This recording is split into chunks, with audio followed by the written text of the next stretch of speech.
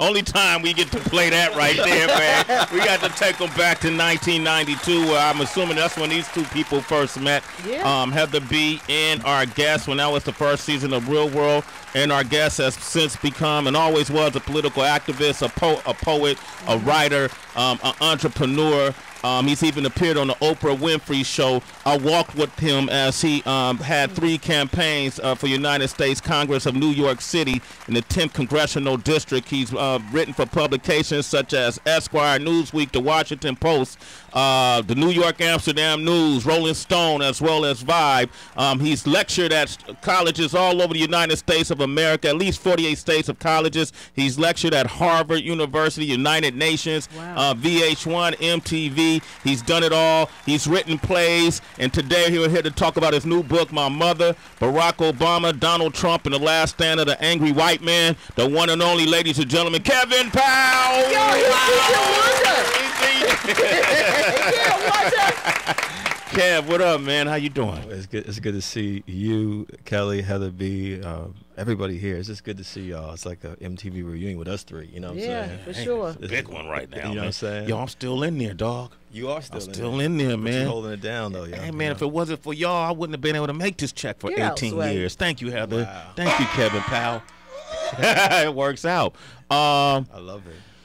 And you know what? And salute to you because um, you did one of the best interviews with President Barack Obama. So much, much respect. to thank you, brother. man. Yeah, You yeah. brought a different perspective to it. You know what I'm saying? So Thank I got to you. say that. Thank you very much. Uh, Kev has also interviewed Pac, Tupac back in the Mm-hmm. day. One of the most controversial pieces and coverages that hip hop Yeah. has ever seen. I um that's my, my this is the new book I'm talking about now. It's my 13th book. Uh-huh. Um, uh, the Tupac book I'm working on right now in the middle of it is going to be my 14th. It'll be out. Man, I've done a hundred plus interviews. Uh-huh. Uh, a lot of folks from, from the Bay Area, a lot Uh-huh. of folks from LA, um, a lot of us on the East Coast. It's been a deep book because I, I actually have not been to Vegas since Tupac died, Yeah. September 13th, 96, because Uh-huh. it was that traumatic experience, having known him that well. And um, so, you know, I actually put this book out first on purpose because everything is happening in the Trump era, and I just needed a, a little bit of a break from the spirit of Pac for a second because it's heavy. In the interviews, I've cried, people have cried, we've cried together. It's been Yeah. deep. I still want to interview you, brother. I, uh, you know, because I, I actually have audio of you interviewing Pac, and so you know, it's important uh, to tell these stories, and that's why I write. And uh, that's why y'all you rhyme, Heather. That's why folks. That's why hip hop exists. We got to tell our stories. You know what I'm saying? Uh, we'll talk about that. I don't. I don't do a whole lot of interviews about that Pac moment, of, and if I do, I kind of keep it surface for the same Yeah, reasons. you know, he's a friend and was uh, so much emotional attachment. Exactly. But speaking about this book, my mother, Barack Obama, Donald Trump, and the last stand of the angry white man. Um, Everybody laughs at that end of it. yeah, well, shit, we've seen a lot of angry white men out there. It's mad real. You know, what is? What do you think that stems from? Well, you know, it's interesting you say that because um, there's an ex- there's two excerpts of the book on BET.com and on uh, HuffPost right now, and I got an email from a, a, a white brother who said he was a liberal, that he voted for Barack in 2000, 2010, 2012, pardon me, and how dare I say anything critical about Barack Obama? I said you clearly have not read the book because I also talk about the love that people have for Barack Obama, myself included, and the fact that I voted for him. And then secondly, he said, you know, how dare you lump all white folks together? I said, brother, I don't do that. I love all people. I love all people. I make that very clear. But you know, we do have to have a conversation about racism in this country and what white skin privilege means. And when we look at what's happening here, it's not just this Trump era. You know, the fact that Barack Obama was the most threatened president in United States history, the fact that racial profiling cases exploded during the eight years that Barack Obama was in office, the fact that you had disrespect of him by people like Congressman Joe Wilson from South Carolina, my family's home state, yelling out "You lie" in Congress. The fact Yeah. that Jan Brewer, who was the governor of Arizona, po- pointing her finger in his face. It says to me that for all the progress that we've made in this country, and again, I love all people. Let me make that very clear. We still have a long way to go because it's almost like we're going backwards now. The fact that it's 10 years since Barack got elected, and we're dealing with the madness of you know folks like myself. Me and my wife took a ride down to South Carolina to take my mother down there. The fact that we had to have a conversation like, what, what happened? What, what do we do if we get stopped by the police? What Yeah. do we do if we encounter some white racists? What do we do if we, can, we see a big Confederate flag? And so my challenge to all people, including my white sisters and brothers, is that you know we got to have some courageous conversations about racism in this country, and, and, and, and put yourself in the shoes of people who may be different than you. It's no different than us as men, as women are shouting hashtag Me Too. We as men, you know, have to understand and have empathy and compassion for when women who have to walk down the streets of New York City, who have to deal with harassment in clubs, mm-hmm. you know, across the board. You know, including my mother who experienced it, which I talk about in the book as well when she was a young woman. So it's really about getting people to have some empathy. The book is about hope, but also do you have empathy and compassion? And Heather tell you, you know, when we were on that show, it was the first time that a lot of people saw a conversation about race. Norman came out as a queer brother. You know, there was a lot of stuff going on there that actually educated me. You mm-hmm. know what I'm mm-hmm. saying? Yeah. And so when I think about it now, like this is actually the kind of world that I want to live in where there's no racism, no sexism, no homophobia, no transphobia, no classes, no hatred of any kind. And there's nothing wrong with being angry, but it's like if it's is it proactive anger is it reactionary anger? Reactionary anger is just destroying things. But if it's proactive, how do we build bridges to each other? How mm-hmm. do we how do we do that? And I know that this has been you all's work for a long time, and Brother yeah. Mogul's work, and that's what I'm talking about. You know yeah. what I'm saying? That, yeah. Okay. Um, you and I think that when you bring back that show, how much you learned. What were the mistakes? What's the biggest mistake you think for you on that on doing that show? Um, I don't know because we, we didn't know what we were getting ourselves into. But it was a big mistake yeah. not asking for more money because they got paid. no, I tell them all the time. I'm not embarrassed about it. I shared with everybody here. We got twenty six hundred dollars to do crazy? the show, yeah, and not realizing what was happening at the time. They told us that we were doing a documentary, yeah. and they wanted to film seven artists of a certain age group um, to do the show. That they would pay us twenty six hundred dollars to do it. And uh, the good thing that I would say that did come out of it in terms of finances is that later on we weren't a part of a new way shows were being broadcast, right. so they yeah. did uh, compensate us well. Okay. Um, it, it, that came later on. Residuals later. okay. Yeah, it, it, came later. But I think for both of us, I, I be honest and say that it was a new territory for all of us. Way yeah. people were either coming from their parents' house or coming from living on their own, yeah. and thrown uh-huh. into a situation with all different types. Like yeah. I've never met a Norman before. Right. Not, not, so not that I didn't meet him. We didn't have to live with him. You didn't have to live with him. Yeah, that, that's the difference. Yeah. Um, Okay, that's interesting. So that show was an educational piece uh, yeah. for for today's society. When you talk about um, the divide that we're still seeing in this country, um, and President Barack Obama being the most threatened president in history, I used to be on the road with him, mm. and I would hear a lot of the racial slurs that was at some point in certain parts of the country were kind of scary. And I'm not a scary man. Yeah, you know what I mean. And I knew yeah. that that man was protected by plenty of people, but I wasn't. Um, when you look at you fast forward and you look at this reaction to Nike, um, the Just Do It yes. campaign, and making make, yeah, uh, Colin Kaepernick being made one of the faces of it, and then we're starting to see this reaction from people uh, because uh, because of what he st- well what he kneeled for. Yeah. Uh, what, um, uh, uh, when the anthem plays, and you see people burning all this Nike merchandising, and yeah. and they don't even know why. I don't even why you know why they're burning. What, what are your thoughts on that? Uh, let me say this: I, have I've been blessed to visit all 50 states in this country mm-hmm. um, mm-hmm. as a speaker, as an activist, and a lot of people in this country don't know basic American history. You yeah. know what I'm saying? It's like if you actually know American history, then you know that Francis Scott Key, who wrote the national anthem, was actually a slave master, and that there was actually a paragraph taken, a verse taken out of it, that was encouraging slavery and also talking about sending black folks back to Trinidad and Tobago in the West Indies. You know what I'm saying? Just get them out of here. If you actually know American history, then you know that most black folks have ancestry have, who have fought in every single war in this country's history, going back to the Revolutionary War, and very, very few people are as patriotic, patriotic as black folks. If you take black folks out of the equation, there's no American music. There's barely any gold medals during the Summer Olympics every four years. And so for people to call us unpatriotic because of Colin Kaepernick or Michael Bennett, who's a friend of mine who's playing with the Eagles now, or the football players are standing and protesting, these black players come from the same black communities as the rest of us. And so they see the racial profile and they see the police brutality. And they're actually doing civil, peaceful protests no different than Dr. King and Fannie Lou Hamer and all the sisters and brothers in the 60s.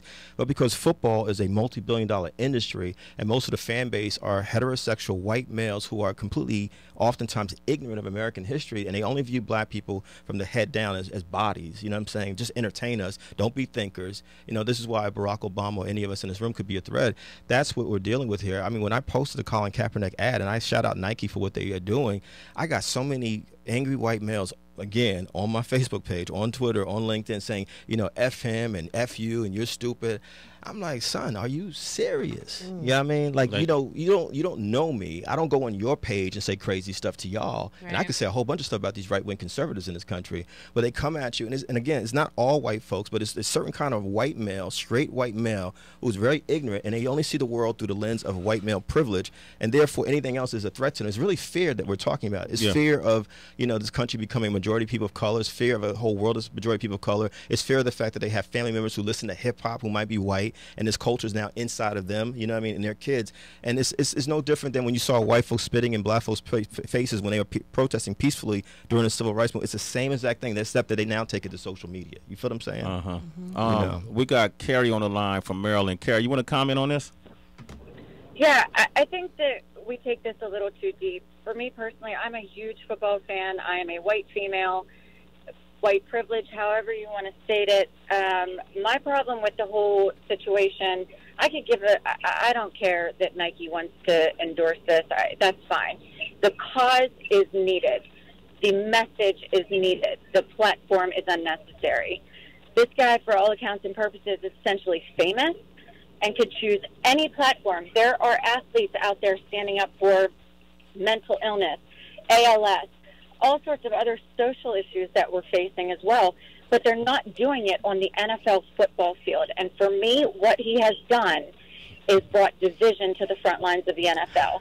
This is the one can place where we can all gather on a Sunday. Yes? Yeah, man. With all due respect, first of all, you know this is part of the problem you know, this is part of the problem that we're talking about. The National Football League is 80% uh, black males. There would be no National Football League if it wasn't for black male football players. That's the fact number one. Number two, the National Football League, out of all the major sports leagues, there's four major sports leagues in America, makes the most money, has the worst contracts for its athletes, but it's the most violent and the most detrimental to their long-term physical health. I'm a football fan. I've been a football fan for about 45 years. I've watched every single Super, Super Bowl, and I'm here to tell you, no, it's not divisive. What is actually divisive is people being upset about these players using their brains, their God-given brains, just the way Muhammad Ali did back in the 60s when he refused to serve in the Vietnam War. And the same attacks that you saw in Muhammad Ali in the 1960s are the same things they're saying about Colin Kaepernick and all these black male football players. And what I say to white sisters and brothers, the ones who are not understanding what's going on, have the ability and the courage to listen and learn and have respect for people who are different. It'd be like me saying to you as a woman in the era of me, Too, the hashtag Me Too movement, you know, how dare you talk about sexism? How dare you talk about rape and, and sexual assault?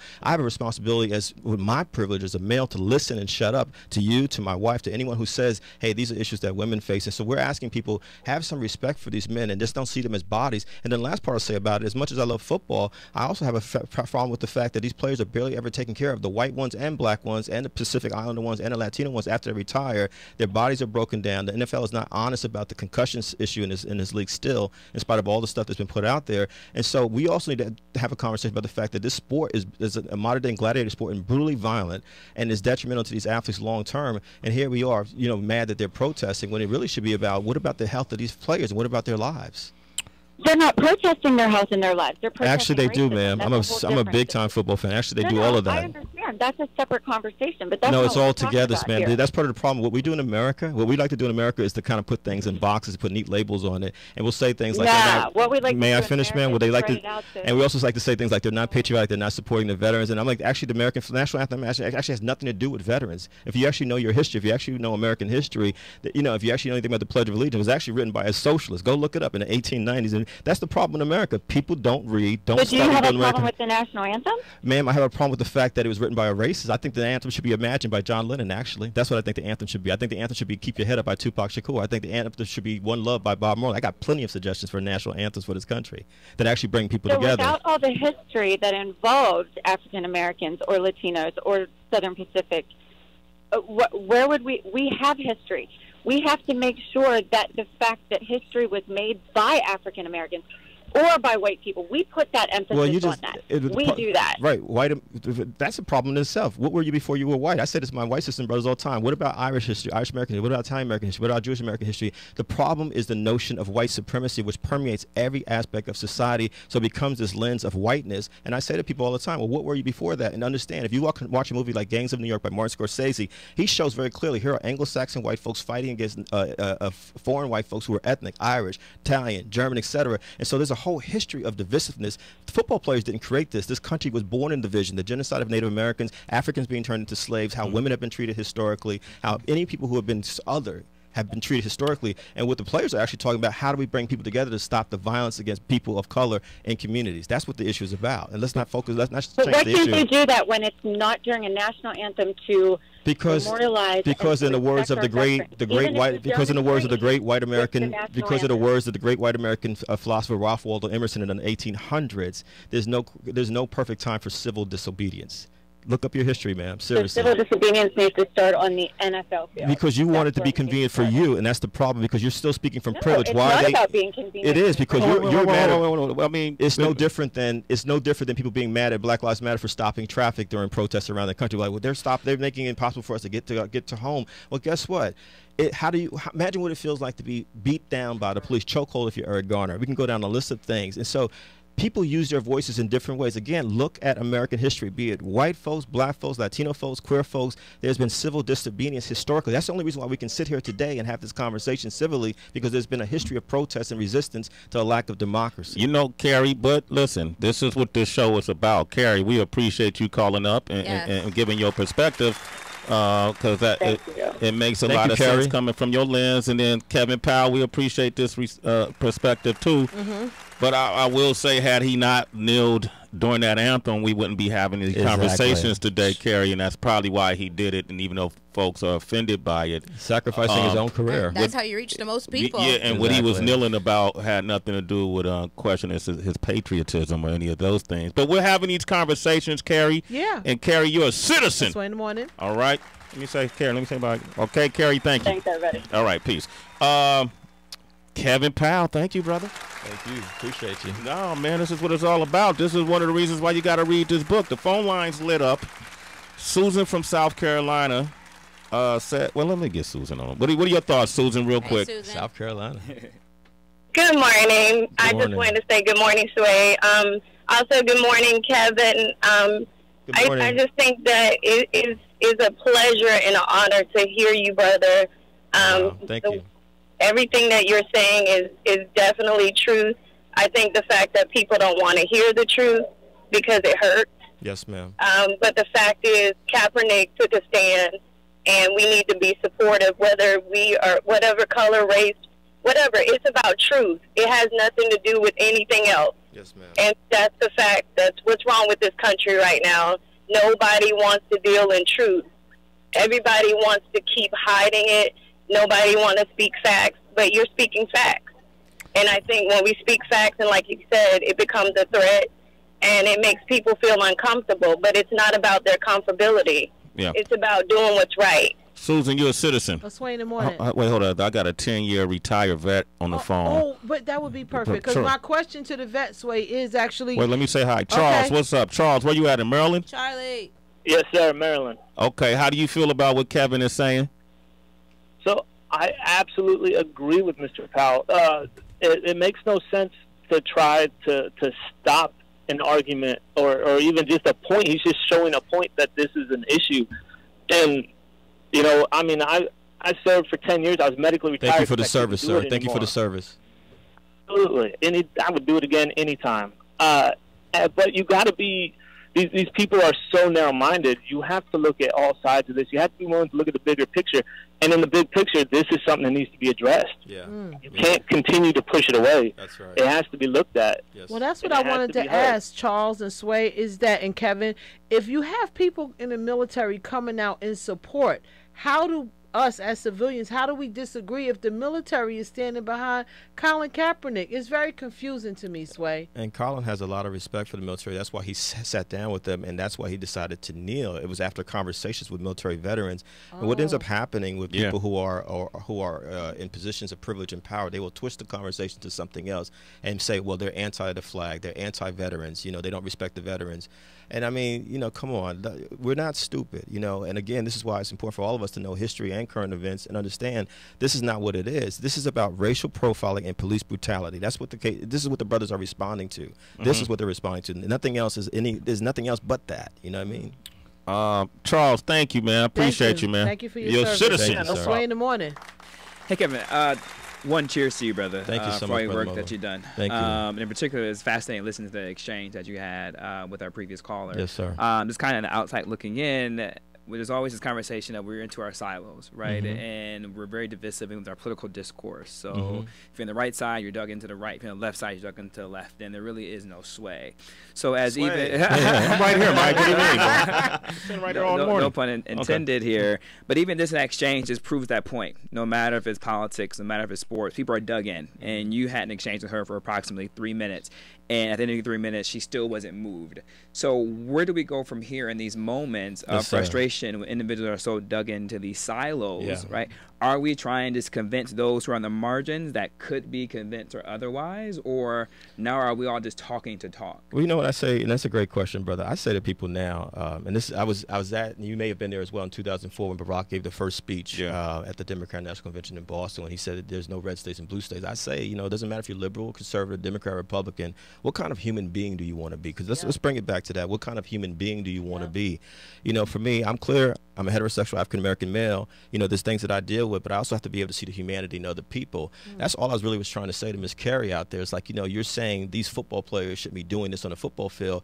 Have enough respect for their their humanity. If they're doing this, if they're jeopardizing their own careers, their own salaries, this means that this is very important to them mm-hmm. as black males. You know what I'm saying? And so all I ask people to do, brother Mike and everyone, is like, can you listen? You know what I mean? And it's like I don't agree with it. I take the time to actually respond to people. This gentleman yesterday cursed me out in the email. I actually take the time to respond to folks. And Heather will tell you, because I was on the real world with her back in the day. I would Yeah, I wasn't ready for all of that. I was doing my turn up years. yeah, you know what I'm saying.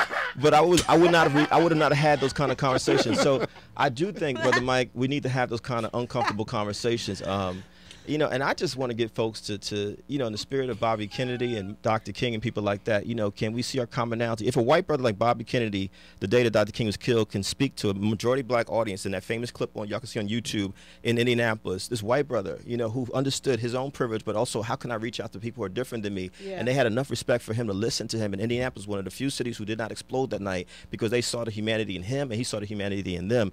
That's what we need to get to. And every time we get somewhere, like when Barack won that night, you know it, Mike, because you Yeah. worked on the campaign. It was a beautiful rainbow coalition of people from all backgrounds. Hmm. But almost the moment that after the inauguration, it got ugly again. Do you know what I'm saying? Yeah, yeah. And it says that we have to, we as Americans, as citizens, as you say, Brother Sway, we have to be willing to do the work on a consistent basis. A lot of people don't really want to do the work. You know what I mean? Heather hit it on the head. I didn't live with a queer brother when we first, uh, you know, that was the first time I lived with a queer brother when we did the real world with Norman. Since that time, I've become an advocate for the rights of people who are lesbian, gay, bisexual, transgender. Absolutely. All right, You know what I'm saying? uh, and an advocate of women too. And an advocate of Yeah. women. One of you the know what I'm saying? producers of She, which is a choreo play. Uh, Yes, it's a theater production. It's about ending violence against women and girls and healing and empowerment.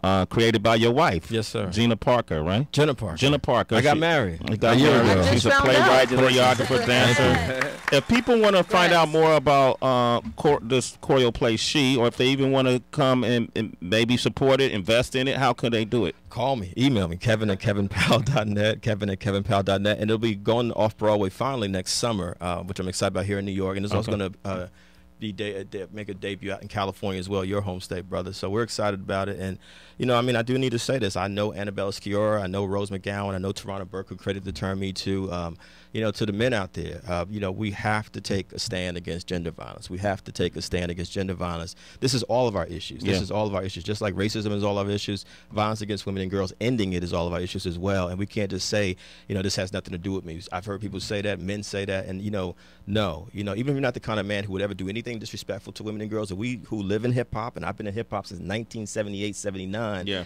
we- If we're honest about it, we know what goes on in our culture. You know what I'm saying? If you even if you're not the kind of man who would do anything, you know, do any or say anything crazy about women, but you see your homies doing it, you say nothing about you become just as guilty. Back to Tupac. If you, people go back to the prison interview I did with Tupac, Tupac said he swore to his death he did not sexually assault that young lady in the hotel room. But what he said he was guilty of in that Vibe article is that mm-hmm. I didn't stop those other dudes from assaulting that young lady. Tupac was only mm. 23 years old when he said that. He When only he lived to 25. Wow. That's the mm. kind of manhood that we need. You know what I'm saying? That's what I'm talking about. Kevin Powell. Look for him at Kevin at KevinPowell.com. Dot net. Dot net. Dot net. Dot Dot net. net. And then you can follow him on Twitter and Instagram at Kevin underscore Powell and at Kevin Powell Brooklyn.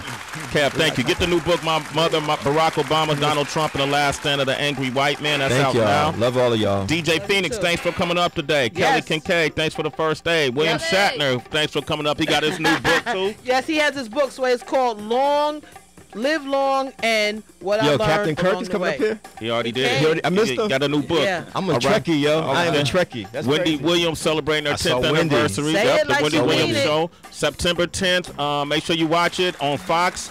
Uh, she'll be at the the uh, the PlayStation Theater tonight at Yes, 6:30. at 6:30. She'll be on WBLS from three to five today in New York City. Kev, one last thing. Yo, that Bobby Brown miniseries is bananas. You That's like why I It's crazy. Okay, cool.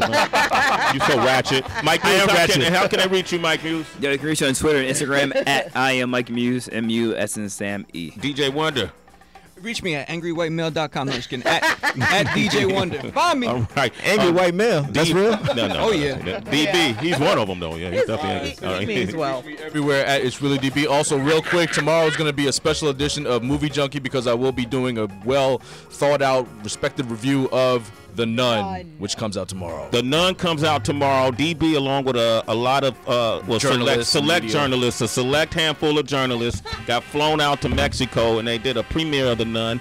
And they had a lot of little marketing promotional Oh, yeah. thing. And he's gonna have a full out report tomorrow about this movie. Something you want to see, especially if you're into horror movies. It's definitely something you want to see. Uh, the movie company, the film company, is putting a lot behind this movie. So check it out. Tracy, how can I reach you? Twitter, Instagram at it's Tracy G I T S Cherry A C Y G. Also, citizens, I realized I should put you on. I have a new newsletter coming out um, later today. So if you're not already on the list, join the 5,000 people that are on there. Just go to she'sbeautyandthebeast.com to sign up. Did she just You heard us right here, Okay. 5K all day, every day. Hit me up at the Happy Hour WHB. I'm on Instagram and I'm on Twitter. All right, I'm at Real Sway across the board. You go to Sway's Universe. Who we have on the show yesterday?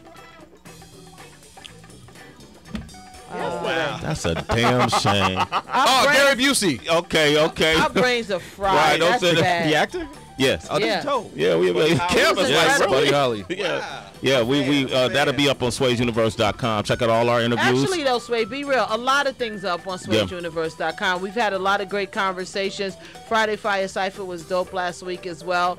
Um, a lot of things up on Sway's Universe, and we're also doing a free listening event right now on Sway in the Morning, uh, as, as well as SiriusXM. Free listening from now until Monday, September 10th, so you can listen to it for free. Go to SiriusXM.com slash on demand. and on that note, we have nothing left to say.